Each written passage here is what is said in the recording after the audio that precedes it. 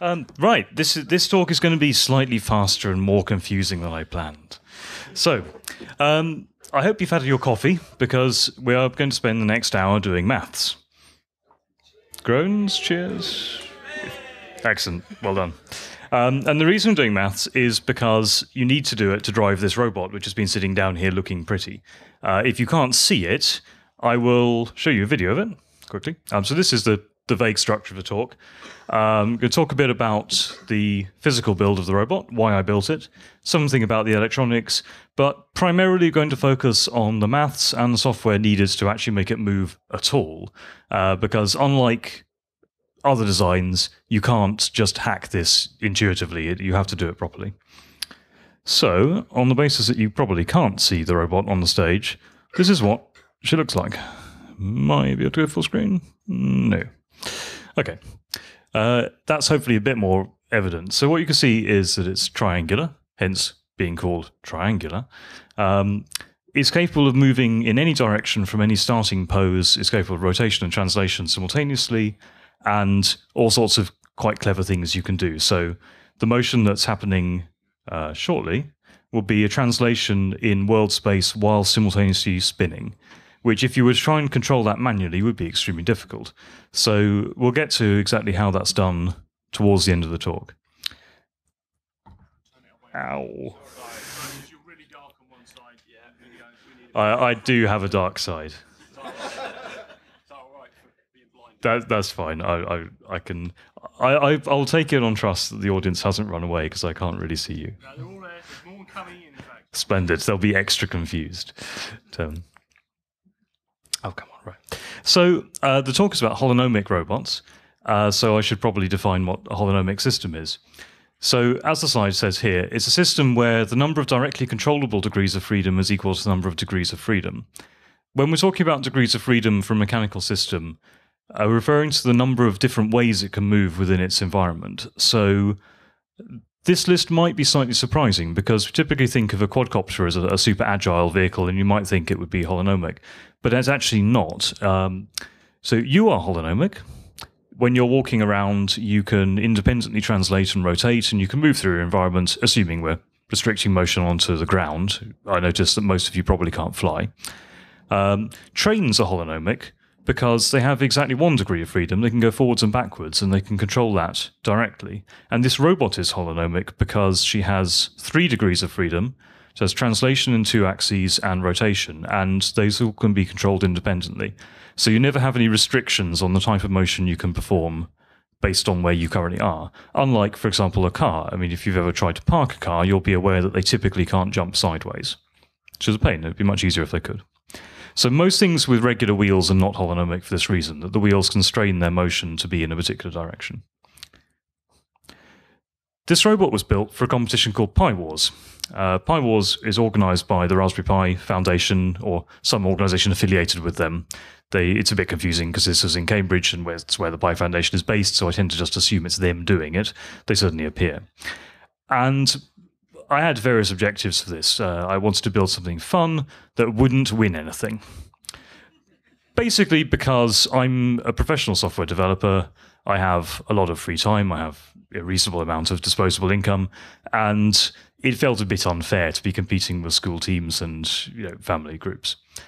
I catastrophically failed to win, to not win anything, uh, because the mystery robot on robot dueling challenge, which in previous years had been a sumo contest, for which this robot is woefully unsuited, turned out to actually be an agility contest instead, for which this robot is just going to absolutely steamroller over any possible alternatives. So this was um, Pi Noon, and if you've dropped by the Cambridge Makespace village yesterday, you might have seen Brian's mini Pi Noon, which is the microscopic version of this. And today, I'm told, what time, Brian? Yeah. So, uh, yeah, if you want to go and play with the, the teeny little two-wheeled ones, they I think it's an A6 footprint, the MicroPi Noon. This one is much bigger than that, and wouldn't I couldn't build one of these that small. But the the way the competition worked was that you had an L-shaped coat hanger wire with a pin on the pointy bit and a balloon on the crook, and you had to pop the other robot's balloon before yours was popped. It turns out that being able to dodge sideways, spin round behind your opponent, and lunge in is actually quite a, a good thing. Um, So I accidentally won Pi Noon, and then people gave me some form of prize for aesthetics, build quality, and innovation. So rather than winning nothing, I actually won a sufficiently large amount I couldn't carry it. But I have managed to donate everything now, so I, I feel karmically okay with that. It's important when you design anything like this to, to test, uh, ideally in as hostile an environment as possible. And the testing for Triangula's first version was at a, an Ada Lovelace Day event at a local school with two or three hundred 10 to 14 year old, mostly girls. And it turns out that if you give um, oh, various lessons, so if you give small children a PlayStation controller, they don't do what I do, which is very gently move the sticks with extreme care. Now they sort of whack them randomly in different directions, and um, that has a tendency to chew up the tires, spin up motors, break everything. A bunch of other things were learnt, so that design is rather less polished. Uh, and this is the final one. So this was designed in Onshape, which is an alarmingly web-based CAD program. I thoroughly recommend having a play with it. You can there are free accounts available. Uh, somewhat ridiculous that you can actually do full parametric CAD in a web browser. The physical construction is uh, C-section aluminium for the bits that look like they might plausibly be C-section aluminium, and laser cut acrylic for almost everything else. The wheels are off the shelf, uh, so are most of the other components. So a rough bill of materials. We have uh, motor drivers because, frankly, it's much easier to talk to something on a serial bus than it is to do high power electrical stuff. Um, three motors, as you'd imagine. Big LiPo battery pack, probably more powerful than it needed, but I have it lying around. A bunch of flashing lights, some pre-made aluminium Omni wheels, uh, which are the interesting bit. The chassis itself, a Raspberry Pi 2B, an Arduino Nano, and some bridging logic and an IMU that I'm not actually using. There's also a camera, which is also not relevant here, but quite handy if you want to do line following, for example. Uh, the headline figure down there is the other reason I didn't want to win anything, which is that most teams wouldn't be spending hundreds of pounds and months of time on their robots. This is a, the, pretty much the last we'll talk about the actual physical build, but this is how everything connects up electrically. So there's quite a lot of wiring, quite a lot of actual sort of you know amateur electrical engineering. I'm terrible at all this stuff. I don't really understand it. Uh, I can I can wire part A to part B, and and if it goes wrong, I'll just try doing it again and hope it, it does something wrong the first time.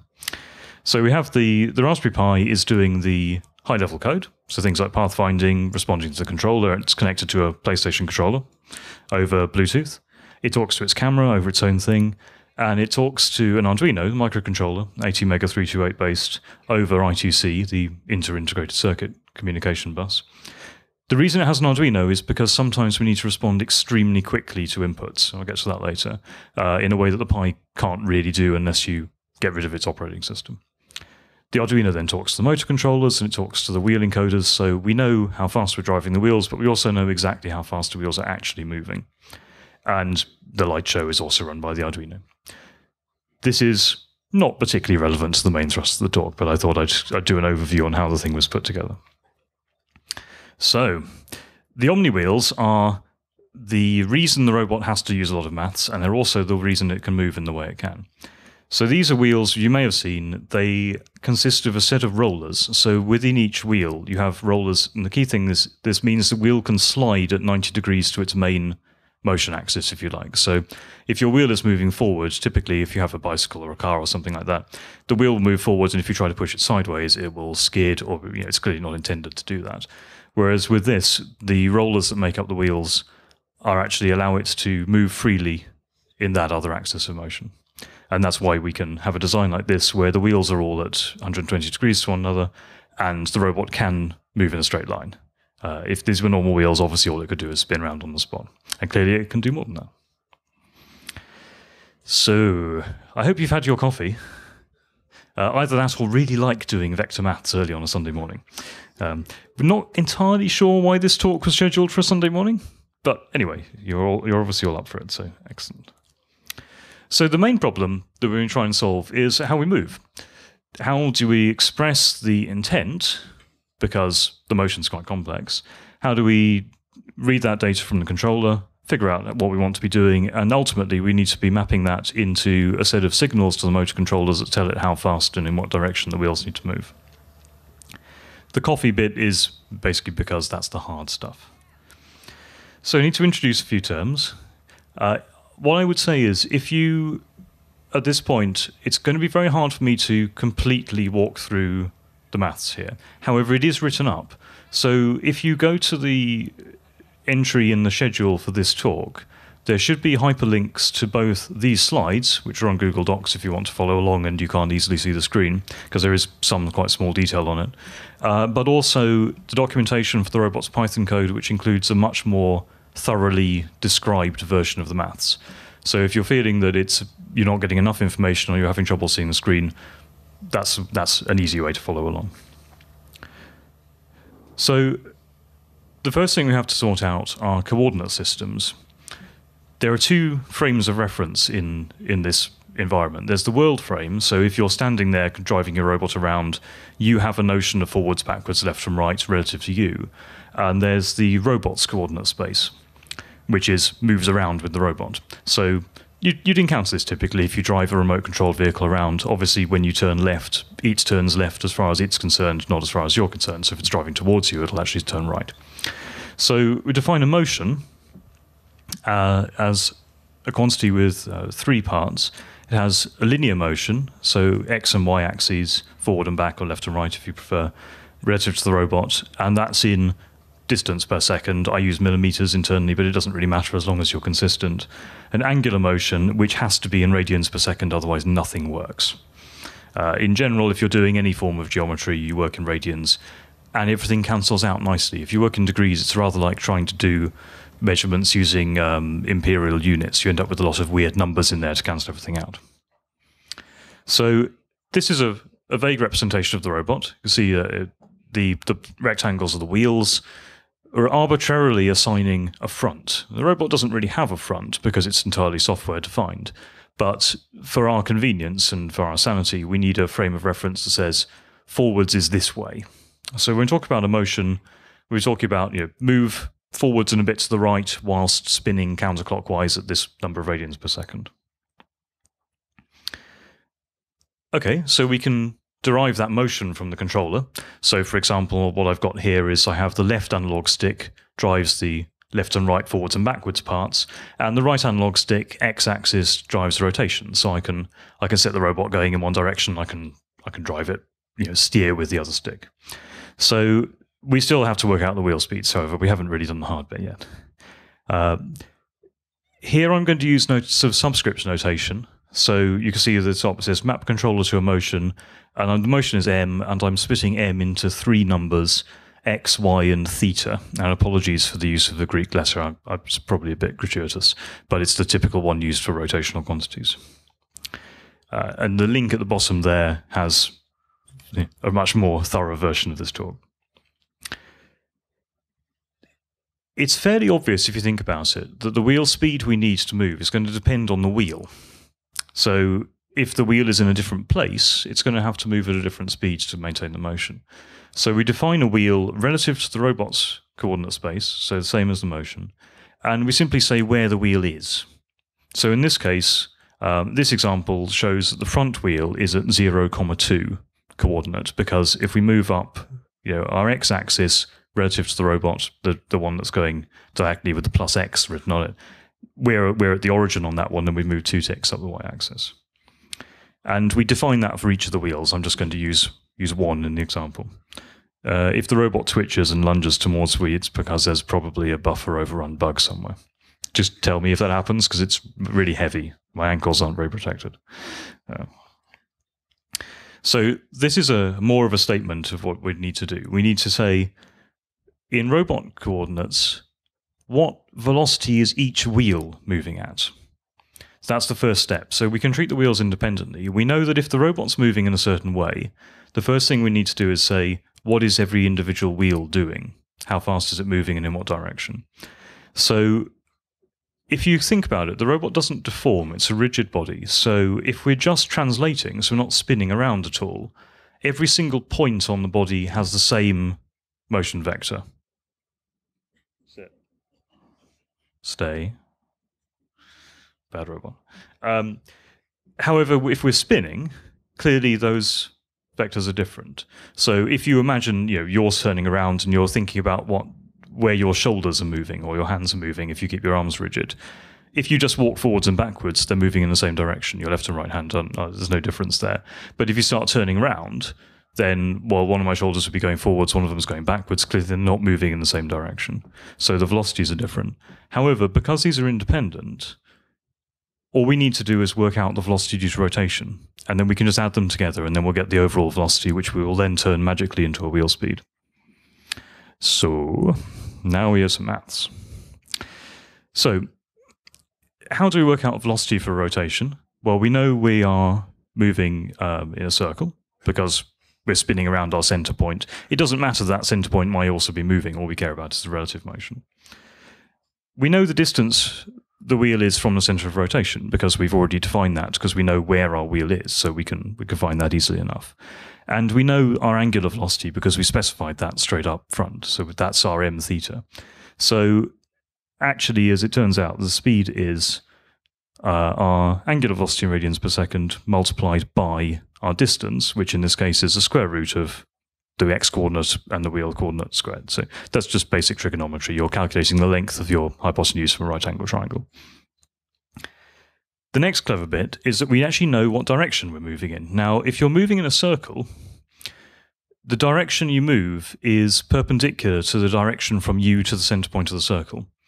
And if that sounds counterintuitive or, or non obvious, consider what would happen if you say take hold of a broom handle and you nail the center of it down, or not the center, the one end of it down to the ground with a tent peg, say, and you pick up the other end and you try and walk forwards. You're moving in a circle because the broom handle is a constant length, and you'll always move so that the broom handle is sticking out to your, you know, your right, say, or your left, depending on which direction you're going around the circle.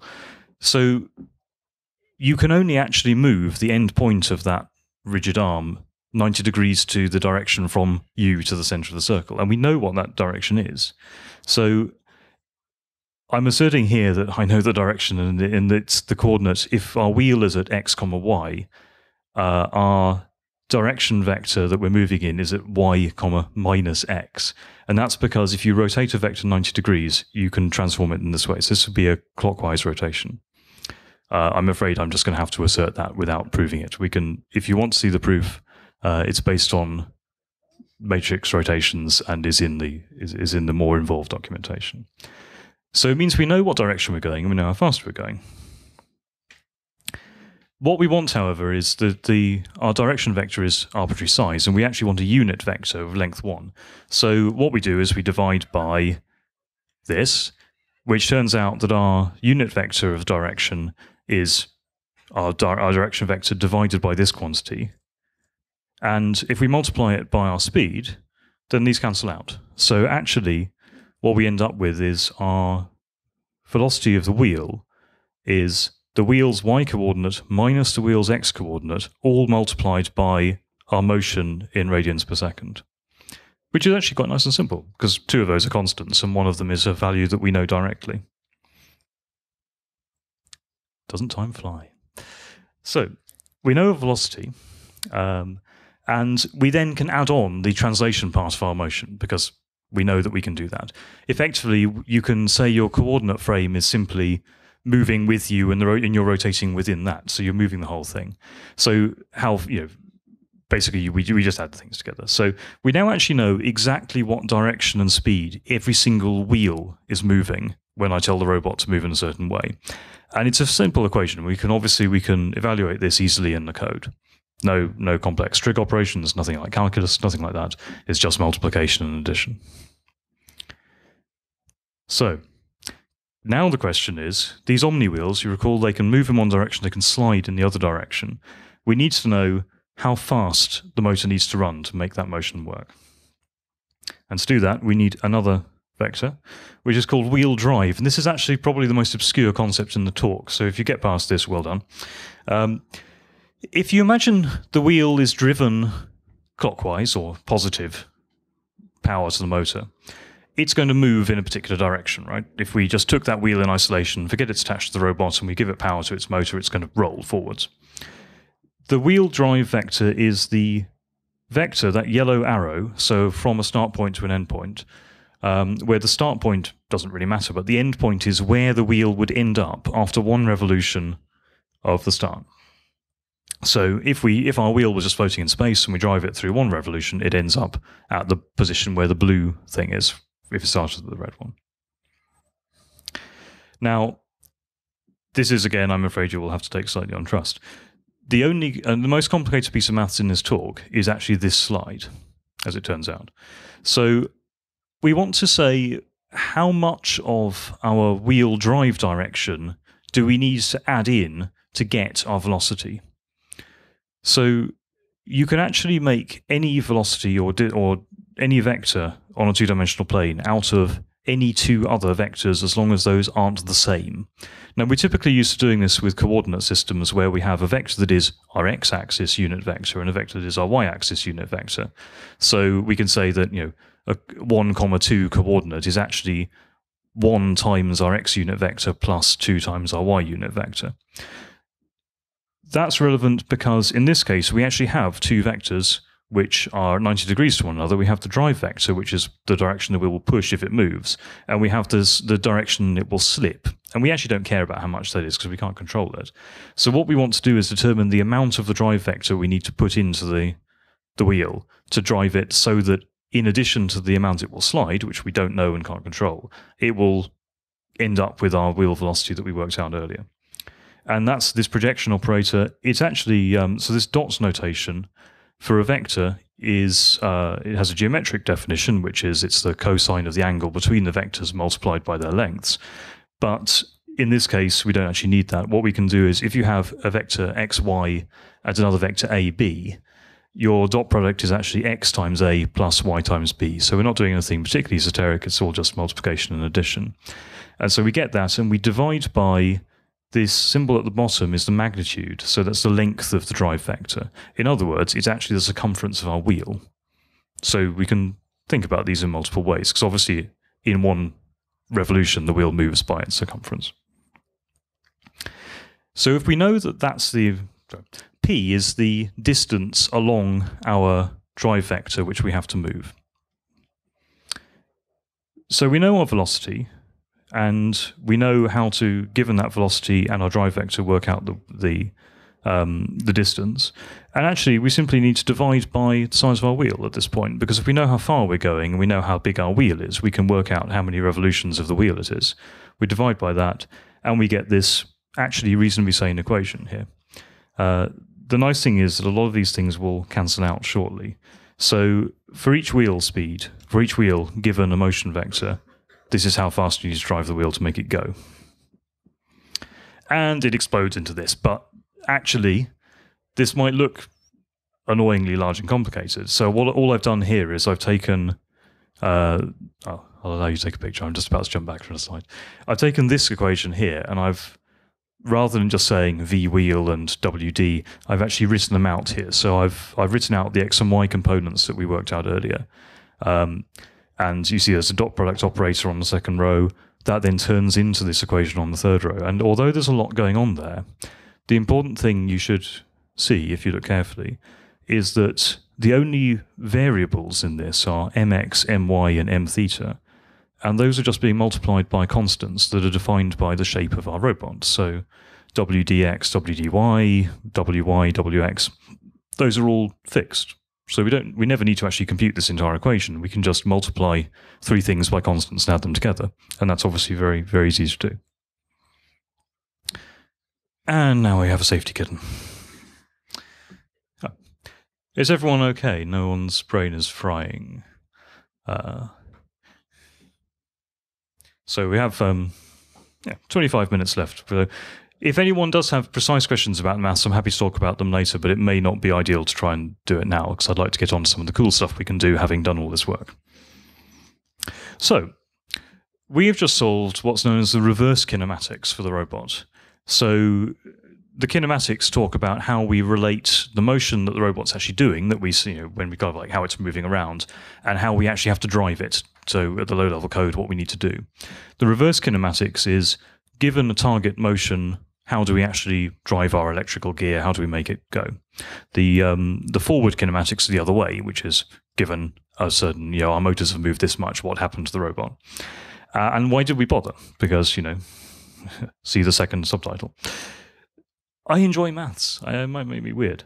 Um, we can control the robot, and without before doing this, you can't hack this motion.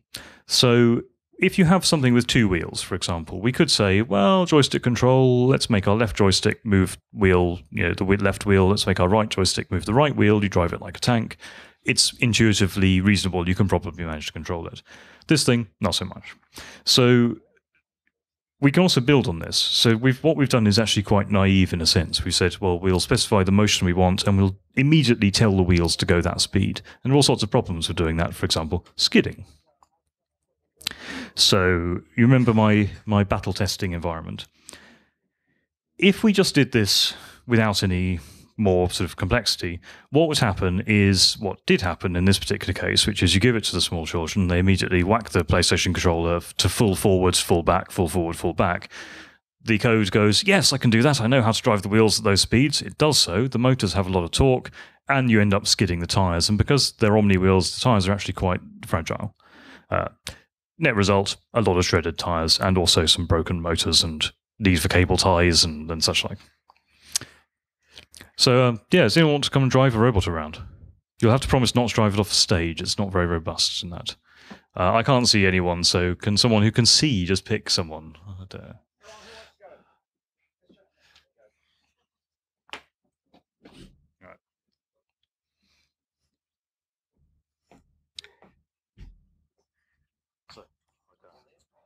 is alarming, yeah. Um, so what what I want to do here is demonstrate a very simple bit of uh, fake kinematics. So you say uh, your name, uh, Keegan. Keegan, right? Keegan is going to drive the robot around using without any of the smoothing applied, and then I'm going to switch the smoothing on, and hopefully there'll be a difference. So what you'll find is your left stick controls uh, translation. So the pink bit of the robot, which is just about possible to tell where the display is, is forwards in this case all your motion is going to be relative to the robot's frame of reference. So you see it's fairly quick. Um, at this point, I'm going to attempt something. This may or may not work. Let's have a look. Um, hello. Oh, God, that's terrifying. Right. Uh, right. Okay. I I apologise for the probably rather jittery camera work. I'm, I'm trying to do this whilst looking at that screen and talking to the microphone. Uh, also, I have no idea what that pop up is. Uh, that's fine. Yeah, whatever. Ignore that. Uh, I had to back out an Arduino library update 10 minutes before the talk because I realized that the different lighting library had screwed up some timing system somewhere and nothing was working. Right. So, anyway, if, if you would uh, drive it around a bit, the, the um, you'll find that the right hand stick will give you your rotation and the left hand stick is translation. So, back in the terms we were talking about earlier, that's our MX and MY on the left hand stick, directly just mapped to the X and Y axes of that stick. And M theta is directly mapped to the X axis of the, um, the right hand stick. And you find that there's a, it's fairly, fairly snappy. I mean, you could, you, you would be able to skid it pretty easily on this. So, it also might be running into problems because we had a minor five-year-old related tire damage earlier. Um, yeah, I should probably be a bit more careful let her play with it after the talk. Never mind, it's fine. The wheels are cheap. Um, but you see, you move around; it's got a degree of control. Uh, also, it's just generally shiny. Um, now, if you would press the X button twice, Right. Now what I've got is an additional layer which will limit the rate at which we can accelerate or decelerate in any axis. So you'll find that it, if you drive around, it will feel like it's got a much more inertia behind it. Does that make sense? So so it also won't decelerate as fast. You have to be slightly careful, but the um, the, that's that's just how it goes. So is that easier to control? Is a question. So you shouldn't be skidding as much. So that's a simple thing we can do with the kinematics. We can start imposing false kinematics, if you like, on on the whole thing. Oh god, oh, hairy arms annoy. Um, okay. So onwards, onwards with the talk. I think. So, thank you. It's it's not as easy to drive as it looks. I'd say there's um Make it go away. Ugh. Where my talk go? Uh, maybe? Hello?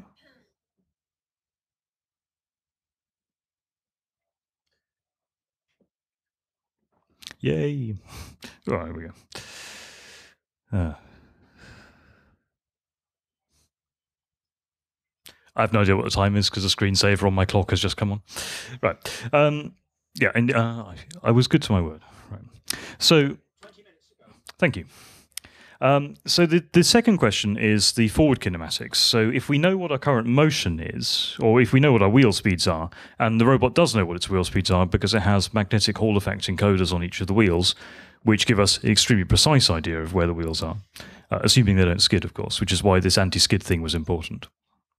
Um, we know we could go basic on the basis that well we asked for a particular motion, but that doesn't really work because we have inertia, we have things that the robot might run into. Perhaps we're going up a hill, and so some motors are going to have to drive harder than others. Uh, so we actually need to to measure these directly. So these are quadrature encoders. They're um, they're just stuck on the back of the motor. They will spit out a very large uh, number of pulses per second as the motor moves, and the quadrature encoding means we can tell which direction they're going in. These are actually wired up to the Arduino. So one of the reasons there's an Arduino in there is that we can fire six signals, so two from each encoder, into a pin change interrupt port on the Arduino, and it can deal with that, and it can tell the Raspberry Pi basically what's your current wheel count having gone round. This is a quick slide on how quadrature encoding works. Upshot of which is you've got two pulse trains, and depending on which one changes first, you know which direction you're going. But I'm just going to skid over that because we're running out of time. Now, more maths. Excitement. Yeah. Um, so this is uh, actually just a restatement of a previous thing that we know what, given our motion components, the three mx, m, y, m, theta, we know what our wheel speed is. But of course, we've got three wheels. So actually, in the code, we were running that equation three times with different constants because the wheels are in different places. So this will actually look like a fairly familiar thing. If we have three unknowns and we have three equations with the three unknowns, we've got a system of simultaneous equations. They're all linear because it's simply our mx times a constant plus my times a constant plus m theta times a constant equals s for the wheel. So we can actually just say, well, let's let's make this a bit more concise by defining what the constants are for a given wheel. So for we have an x and y and a theta constant, which are what we're going to multiply the coefficients around which we multiply our motion to get our wheel speed. And the things in the box on the left of this slide are all constants. They are entirely defined by the chassis size of the robot, where the wheels are, what direction they're pointing, and how big the wheels are. We can express that as a system of simultaneous equations, and we can then express that as a matrix containing all of those things.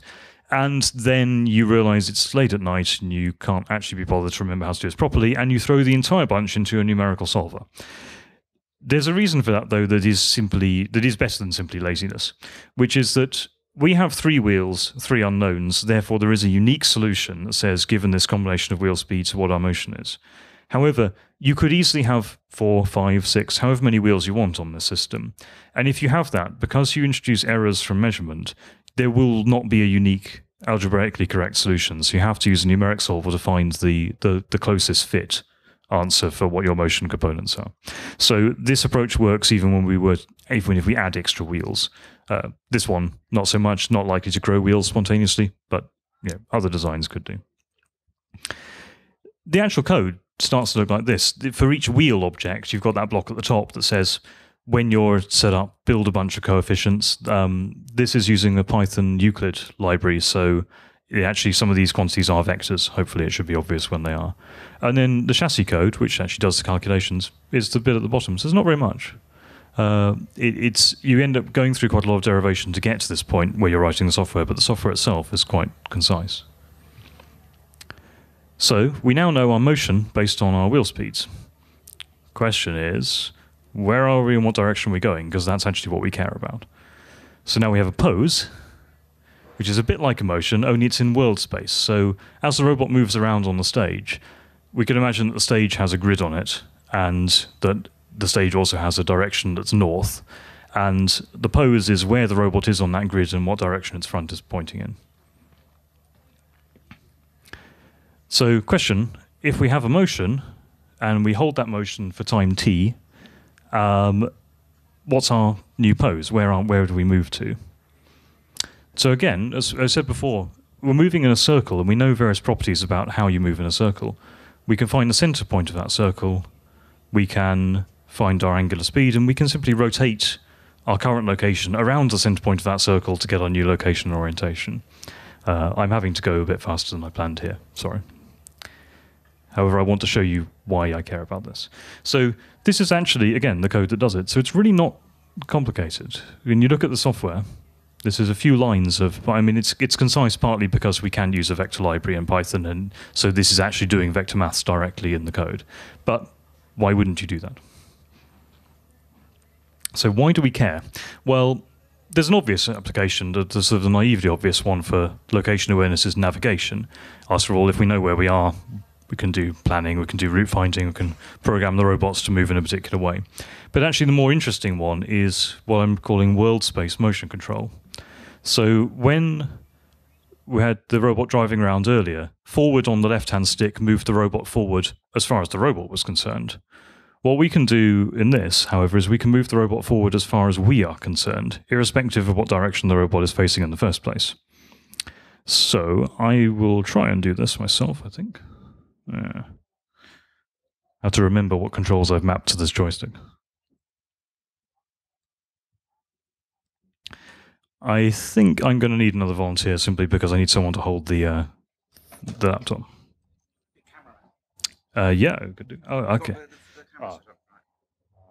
Do that somewhere. Yeah, we have a camera. It's terrifying. Make it go away. Um, so what I have here is um, this is going to be interesting because I'm trying to keep talking into the microphone whilst watching the robot. Um, I have the robot set up so that at the moment it looks pretty similar. I'm, I'm moving a joystick forwards and backwards. The robot's moving forwards and backwards. Except, you notice it's kind of turning around occasionally and it's still moving forwards and backwards along the stage. I'm not actually changing anything on the joystick as I do this.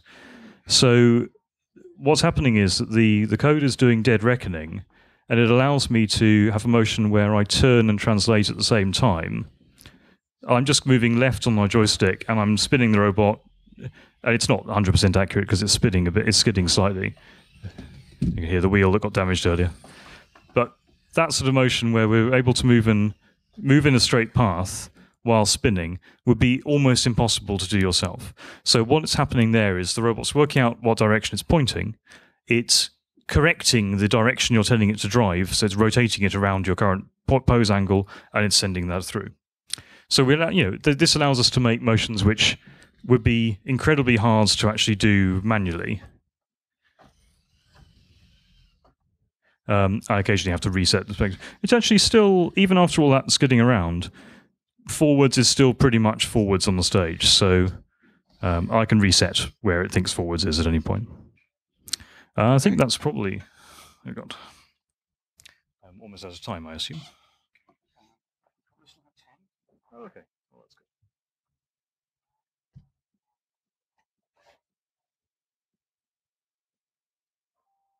Hello, and a variety of anonymous animals who are apparently looking at the slides. So, if you um, if you don't want to say do all of this maths yourself, you could take advantage that someone wearing a purple t-shirt and standing on stage talking to you has already done it. Um, if say you're wanting to build one of these robots, there's a whole bunch of code that is intended to be reusable and is not dependent on this robot's chassis at all. So what I created was a chassis abstraction, pose motion objects so what we expect from the talk. Uh, there's a wheel object which defines how the wheel works, which says which direction it can roll in relative to its drive, how big it is, um, and and where you put it on the chassis. And then you can simply ask the chassis, "Give me my wheel speeds," or "I've measured these wheel speeds. Where am I?" Uh, and that's all easy to do. So that's available on um, PyPy, uh, Python Package Archive. Um, so you can simply do pip install triangula. It'll probably only work on a Raspberry Pi because some other bits and pieces, which we'll describe shortly, uh, rely on Linux properties. So I can't actually compile the code on the Mac, for example. So this is my spirit animal. It's the demon cat from um, uh, Adventure Time. Adventure Time. um, who has approximate knowledge of many things. So this talk is kind of there's been a bunch of stuff, and we kind of vaguely know how everything works now. There are a few other things you have to do to make one of these robots actually work, which is more in the way of plumbing, but uh, uh, some of them were non-trivial, so I thought I'd mention them talking to the PlayStation 3 controllers, if you've ever tried this, you'll realize that pretty much all the documentation online is either wrong, a copy of the original wrong thing without attribution, or the thing I wrote. One of these three works. Guess which it is. Um, so there's a whole bunch of stuff with for the joysticks which helps. There's a task framework. So um, one of the things I can do is a, there's an LCD display on top of the robot. I can create new tasks for it to do. So manual motion, um, manual motion relative to world frame, that sort of thing. Means I could write just little snippets of codes that do purely what I want and have the task framework set up the environment, tell me about where my sensors are, give me objects that provide access to the chassis and motors and that sort of thing. Uh, and there's a Linux service, which means I can use system control to stop and restart and remotely manage the, um, the, the Python code. None of which were particularly difficult, but they're all things you will have to definitely do if you're doing this, and so an example might be helpful. Uh, the the Sixaxis controller support in particular is something that I decided to try and do properly. So you can in Python you can do something like with joystick J as this do these things, and it will set up the connection to the joystick. It will manage calibration automatically. It will manage uh, dead zones so you don't have motion when you let go of the sticks. It will manage hot zones so you can have uh, the joysticks reach their full range of motion slightly before they actually hit the physical limit because these sticks are constrained to move in circles and you might want to effectively make them move in a square. It has button handling, event handling, all that sort of stuff. And that's it, I think. Oh, gosh, yeah. Done.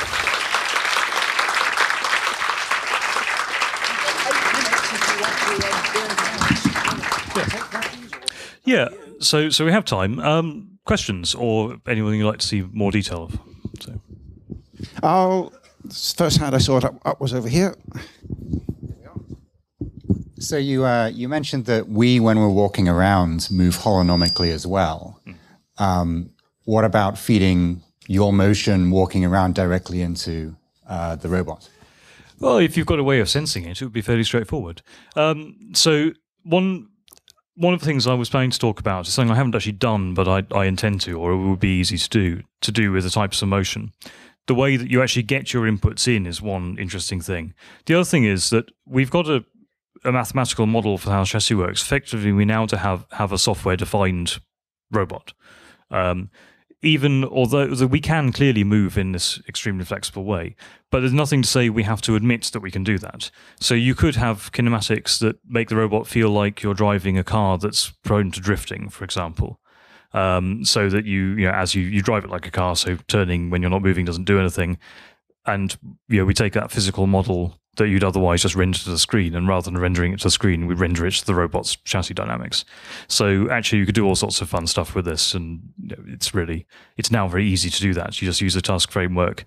If you've got your physical model that you want to replicate or your input model that you want to capture from, it should be straightforward enough. The the um, the manual motion task I've got there is pretty much read data from joystick, apply torque limit if you've pressed the button appropriately, write the data to display, send the data to the chassis get the wheel speeds, send them to the Arduino.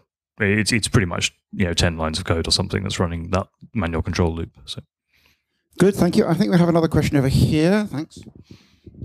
I um I think you made a statement earlier that you said drones couldn't be holonomic. Is that all drones or? So, so the reason I said that is that if you consider three-dimensional movement, you suddenly have a very large number of degrees of freedom. So you have obviously you've got translation up and down, left, right, forward, back. You've also got rotation around each of three axes. And I think you'll find if you have a quadcopter that if you turn it so that it's banking left, it will move sideways. It's very difficult. I, I, you could, in principle, create a drone that could behave in a holonomic way, but no one ever would. The logically it can't ever happen unless you have at least six propellers and they're all pointing in different directions the you can't make up stuff out of nowhere. So this works because we have three inputs driving three dimensions of three um, degrees of freedom. if you don't have three actuators that are independent, so the wheels in this case are independent because they're going through the Omni wheels, you can't possibly actually acquire those independently controlled degrees of freedom. It just you can't get something for nothing. Uh, if you say take a quadcopter, all you can vary is four different quantities, so you're never going to be able to control the thing purely in a six-dimensional space. Um, not to mention you've obviously got other physical constraints like gravity. So although you can start to rotate the, the quadcopter, if the way that the quad will um, skid sideways is to boost power on one side so it's at an angle so your thrust vector is sideways you can't do that independently you can't you can't roll and translate as separate concerns like you can't translate without rolling and you can't roll without also end up translating sideways so it's it's more that if you have those six degrees of freedom you're going to have to have at least six inputs to your physical frame in order to control them because it mathematically can't happen otherwise you might need more because you have to deal with gravity. We've got one more question over here, I think. Thank you.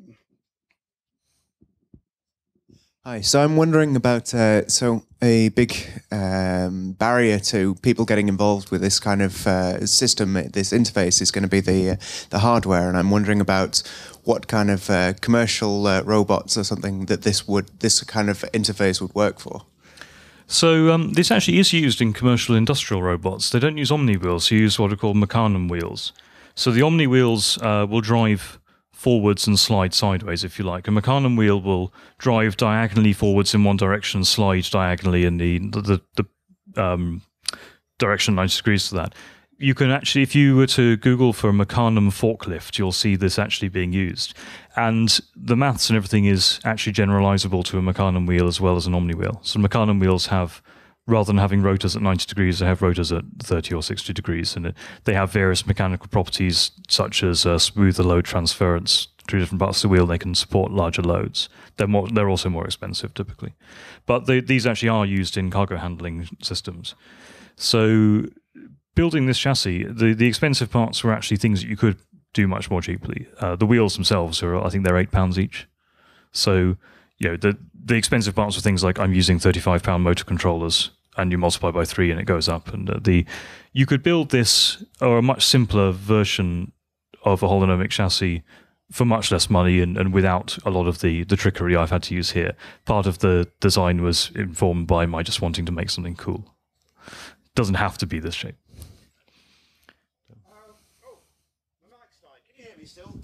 Hello? Oh, there we go again. I think it's three minutes to. This is the greatest maths lecture I've ever had at nine o'clock on a Sunday morning. I think, should we just thank Tom at that point there?